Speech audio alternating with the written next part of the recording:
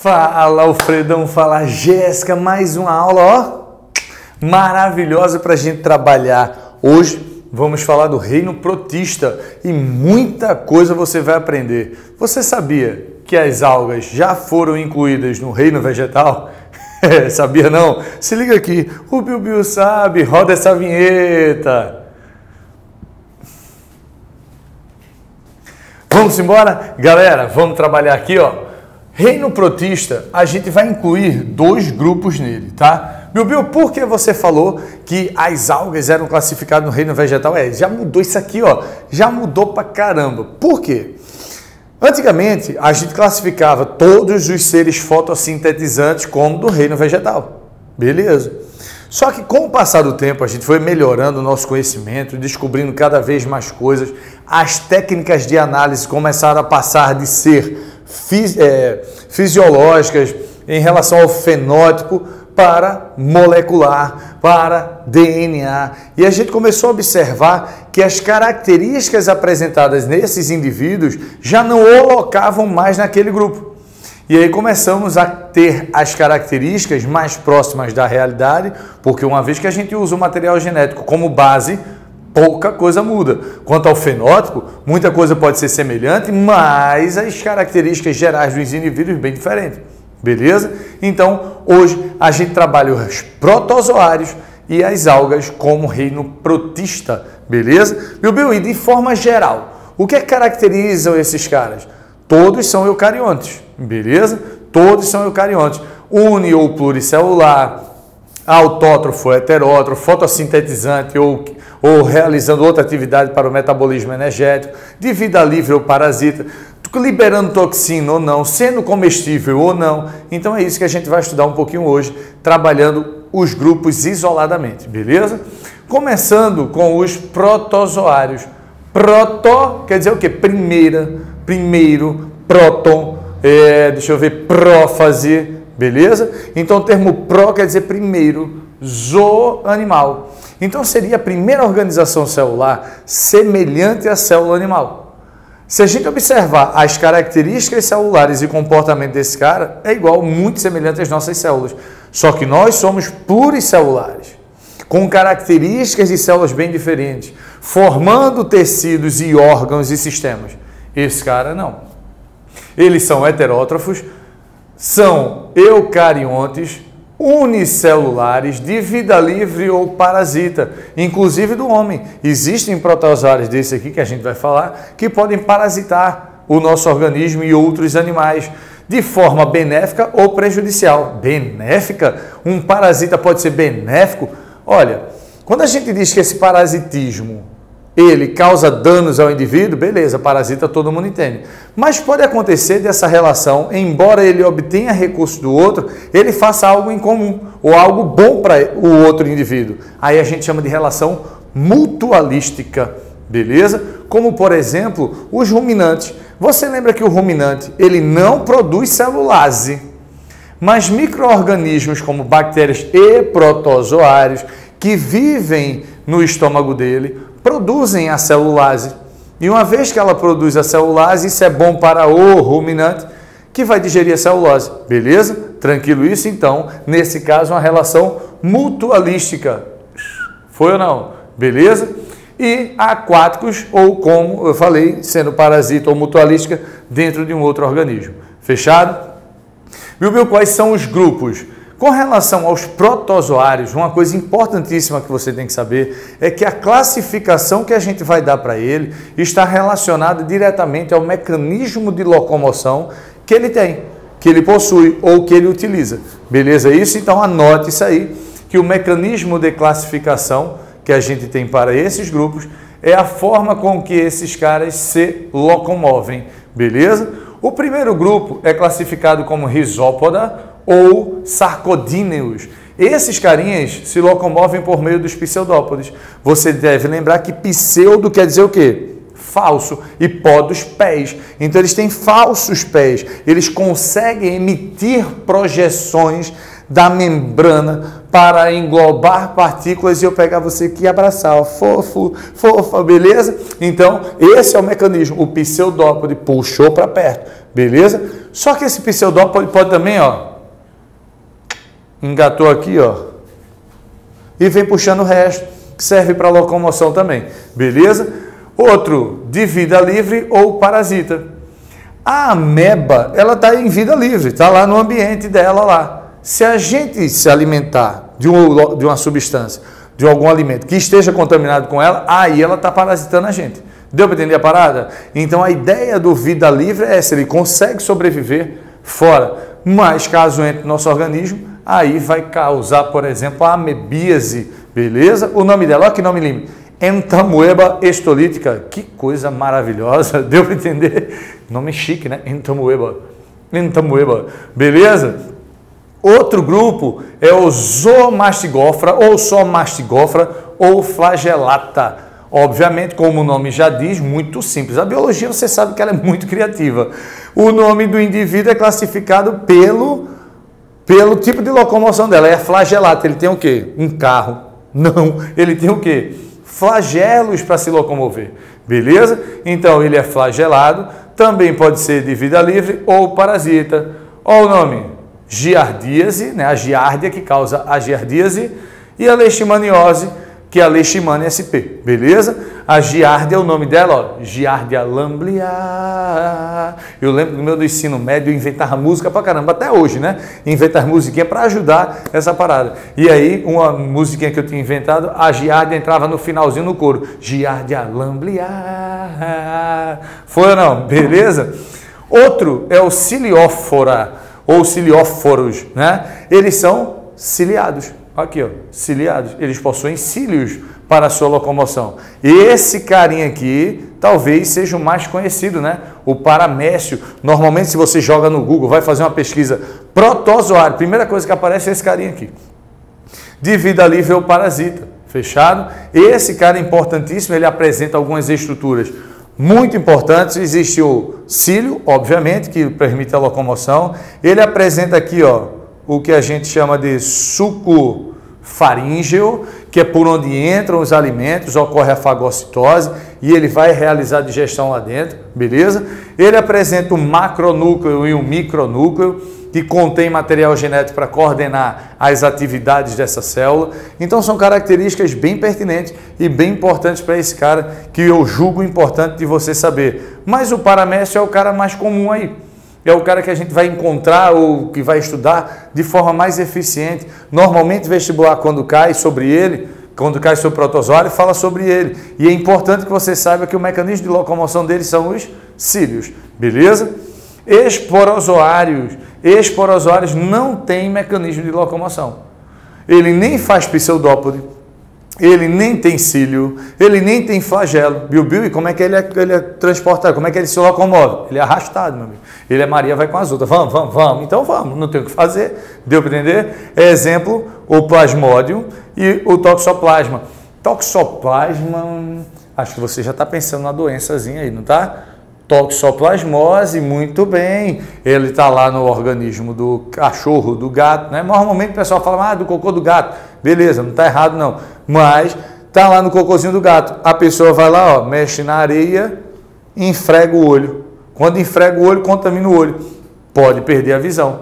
A irmã de um amigo meu perdeu 90% da visão. Vê? Por quê? Brincando com o gatinho. Ué, mas ela pegou o cocô dele e passou no olho? Não. Deixando o gato lamber. O gato lambendo tem na língua dele. Como é que gato toma banho mesmo? Piu, piu. Meu gato é limpo. Seu gato é limpo. Mas o Francisquinho dele. Mas ele toma os medicamentos. Aí beleza. Se ele não tiver contaminado, show de bola. Beleza? Show. E as algas? Aí as algas agora a gente vai tirar onda. Como eu falei, as algas já foram classificadas no reino vegetal, né? Por conta da atividade fotossintética. Mas, diferente dos vegetais, as algas elas não possuem tecidos verdadeiros. A gente até pode encontrar algas pluricelulares, não coloquei aqui, mas aqui, ó, pluricelulares, mas elas não formam tecidos verdadeiros. Essas pluricelulares, chamadas de talófitas, né? aquelas algas gigantescas, grandes, podendo chegar aí a 100 metros. Que isso, mentiroso! É, ela pode crescer até um metro por ano. Tem noção? Bill Bill, queria crescer um metro na vida. Ela cresce um metro por ano. Foi? E aí formam florestas gigantescas no oceano. Não sei se você já viu em documentários, normalmente aparece isso, né? Aquele, a baleia orca, a baleia orca caçando uma foca que seja, e aí a foca correndo. E aí mostra lá, às vezes, essas florestazinhas ali, bem legais de ser observado, beleza? Mas vamos lá. As algas, elas são, obviamente, eucariontes, show? Autótrofas, porque realizam a fotossíntese, e aí para isso existe o que a gente chama de pigmentos fotossintéticos. A gente vai falar de alguns aqui, mas eu tenho certeza que você lembra principalmente da clorofila. Mas ó, existe clorofila, xantofila, feofila, rodofila, beleza? Então cada pigmento desse tem uma coloração e determina a coloração da alga também, beleza? Outro, fotossintetizantes, porque vão realizar a fotossíntese e lembre-se, os vegetais realizam fotossíntese? Realizam fotossíntese. Eles contribuem para a liberação de eles promovem a produção de oxigênio? Liber, promovem a liberação de oxigênio. Só que o oxigênio que ele produz numa floresta, pensa na floresta amazônica, comunidade clímax, já está estável. Se ela está estável ali, você deve lembrar que ela deve estar tá no ponto de compensação fótica, um pouquinho acima, para produzir um pouco de reserva para ela. Mas aquilo que ela produz, praticamente tudo ela consome. Então é errado a gente dizer que a, a floresta amazônica, as florestas vegetais, seriam o pulmão do mundo. Não é. Acaba com isso, beleza? Quem é o pulmão do mundo se for assim para considerar? As algas. Por quê? Porque elas vão ter uma atividade fotossintética absurdamente muito maior. E por ser unicelular em sua maioria, a atividade fotossintética dela é tão alta que ela produz e não dá conta. Então o oxigênio que ela produz vai ser, ó, maior parte liberado. Então tem muito oxigênio dissolvido na água, porque esses caras são aquáticos, beleza? E vai contribuir para a produção de oxigênio para a atmosfera. Então, importantíssimo saber disso. E esses caras são importantíssimos para a manutenção da vida na Terra. Pensando que praticamente todos os seres, eles são o quê? Aeróbicos, beleza? E dependem desse oxigênio. Outra coisa que eles são, é importante você saber é que não tem tecido verdadeiro. Como eu falei, não ter tecido verdadeiro já tira ele também dos vegetais. Né? Só que cuidado, você deve pensar assim, pô, mas as briófitas também não tem. Beleza? Ela não tem como esse cara tem. Embora a briófita já apresente diferenciação celular com características muito mais especializadas, ele não vai formar órgão. Órgão. Tecido, ela vai formar. Deu para entender? Cuidado para não confundir as bolas. Aqui ele não forma nem tecido, tem algumas células diferenciadas, tal, mas não é organizado, como numa briófita. Show? Bilbil, fala para mim as importâncias. Eu falei a ecológica, né? Liberando oxigênio para a atmosfera de forma absurda e importantíssima. Mas, alimento. Aí, eu não sei você, mas sushi é top. É ou não é? Sushi é bom pra caramba. Olha, eu não gostava, não gostava. Não gostava, porque eu nunca tinha comido. E eu dizia, não, gosta de comida crua? Tá doido. Até quando eu conheci minha esposa, minha amada esposa, que está aqui aliança, viu? É porque eu uso aqui por causa do piloto. Mas minha esposa chegou para mim e fez assim: vamos comer sushi. Na época a gente estava se conhecendo, ó. Vamos para o sushi. Eu falei, rapaz, eu não gosto dela, tu já comeu? Eu fiz, não. Ela, então como é que você não gosta? Eu falei, é verdade, faz sentido, não faz? Vamos. Aí ela botou só aqueles top, né? O frito, aquela coisa e tal. Mas você já percebeu que tem um envoltório de alga, então importante para a alimentação. Só que logo quando a gente fala alimentação, vem na cabeça logo o quê? A alga do sushi. Beleza, tá errado? Não. Isso para a gente. Né? Mas as algas, no geral, elas servem de alimento para outros animais. Pô. A gente só lembra da gente, né? Ah, eu vou lembrar de mim do, da alga do sushi. Mas e os peixes que comem as algas de fato? Beleza, isso? Tranquilo. O zooplâncton que come o fitoplâncton. Beleza? Lembrando que zooplâncton e fitoplâncton Pode ser também, beleza? Show? Agora, cosméticos. Meninas, mulher gosta de cosmético? Não. Não, né? Não. O que? Tu olha lá, a mulher deve ter 10 coisas da mesma coisa, igual, tudo fazendo a mesma coisa. Tá maluco, meu Bill? Tu tá doido, é? A mulher tem 10 tipos de rímel, com separação das cerdas diferentes, para dar um espaçamento correto do cílio que ela quer. O blush tem 300 mil tonalidades de coisas. O gloss, tudo isso, todos esses batom, todos esses cosméticos, todos esses carinhos, tudo tem origem de alga. Bio, bio, pelo amor do guarda de Israel. Então quer dizer que isso aqui é alga? É. Tem partes de alga ali, principalmente por causa desse cara aqui, ó, o aginato, que ele dá uma consistência mais densa a sorvete, ao creme, aginato. Beleza isso? Tranquilo? Então é importante. E os farmacos como medicamentos que a gente utiliza aí à base de alga para o envoltório da cápsula, por exemplo. Quer ver outra parada interessante? Não, deixa eu falar lá na frente. Vou falar não. É que eu fico empolgado querendo. Vai, vai, vai, deixa eu falar logo. É como eu falo de vez em quando. Eu falo assim, é que eu ouço as vozes. Fala disso, fala disso, fala disso, fala isso, fala isso. Aí se eu não organizar, dá Blade Blade. Beleza? Vamos embora. Os carinhas aqui agora vão ser classificados de acordo principalmente com o pigmento fotossintético mais abundante ou a coloração dele, beleza? Só que para para pensar, vê o pigmento aqui. O que é que é comum para todo mundo aí? Clorofila, clorofila, clorofila, clorofila. Então você agora já sabe. O pigmento fotossintético mais abundante no planeta é a clorofila. Mas isso não quer dizer que ele seja mais abundante em todos os vegetais. Entendeu a parada? Não, meu Deus. Quando a gente vê a clorofila, de fato, a clorofila verde determina a coloração verde do vegetal. Show de bola. Mas isso não quer dizer que ele não tenha outros, como a rodofila, como a xantofila, como a fiafila. Quer ver um exemplo bem fácil para gente? A folha é verde, rica em clorofila. Mas ela cai verde? Não. Ela cai vermelha, ela cai amarela. Por quê? Porque lá tem a rodofila, tem a xantofila, tem a feofila. Ah, entendeu a parada? Então, quando a gente fala aqui, por exemplo, clorófita, ela vai ter muita clorofila, mas também vai ter o caroteno, vai ter a xantofila. Lembrando que o caroteno é um pigmento fotossensível. A organização desses caras, eles são uni ou pluricelular. E uma característica importante é que a parede celular dela é de celulose. Normal. Ou todo vegetal, todos. Não, todos não. E esse cara tem celulose. A gente vai ver que tem outros tipos de parede aí. Beleza? Olha para cá. Feófita tem clorofila, fulcoxantina e o caroteno. Ué, e por que ela não é verde? Porque essa combinação de cores dá uma coloração meio parda para ela. Beleza? Ela vai ser pluricelular exclusivamente e tem parede celular de celulose e o aginato que a gente falou, que dá consistência mais densa para alguns tipos de, de cosméticos e alimentos que a gente utiliza. Beleza? Rodófita, ela vai ter uma coloração um pouco mais avermelhada, embora tenha esses carinhas aqui. Também pluricelulares e tem esse carinha aqui, ó, celulose, agar e carrageína. O agar que eu queria trabalhar com você. Se você vai para um curso na área de, de saúde, qualquer disciplina, você, quer dizer, qualquer curso na área de saúde, você vai pagar uma disciplina chamada de microbiologia.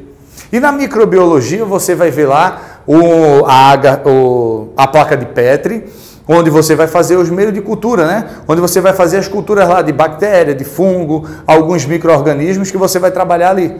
Você vai ter aquela lá, pega lá a boca, abre a boca do menino, raspa a boca, a mucosa e bota lá. Quando você for fazer microbiologia, já vai escovando os dentes, viu? Para não ser pego de surpresa e a sua placa se desenvolva mais rápido. Foi? Olha lá. Aí você vai dizer assim: Nossa, mas eu escovo minha boca com Colgate, só dá. Eita, não pode nem falar os nomes, né? Não está me patrocinando. Mas vai, usa lá aqueles negócios tudinho para limpar a boca, Detefon, Baigon, tudo. Vai ter bactéria lá ainda. Faz a raspagem, coloca lá, vai desenvolver. Ela come o quê? O meio de cultura. E o que é o meio de cultura? É o agar saborô, beleza? Que é aquele meio de cultura, aquela marronzinho que fica ali que serve de alimento para o desenvolvimento desses micro-organismos. E a euglênia? Ela também tem seus pigmentos fotossintéticos, elas são unicelulares exclusivamente e não possui parede celular.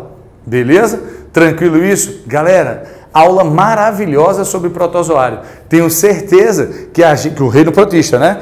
Tenho certeza que você, ó, uau! Está crescendo e desenvolvendo. Cai dentro dos exercícios. Trabalha isso, desenvolve para que você decole cada vez mais, beleza? Por hoje é um K, é um B, é um osse. Acabou-se, dá o print aí, valeu!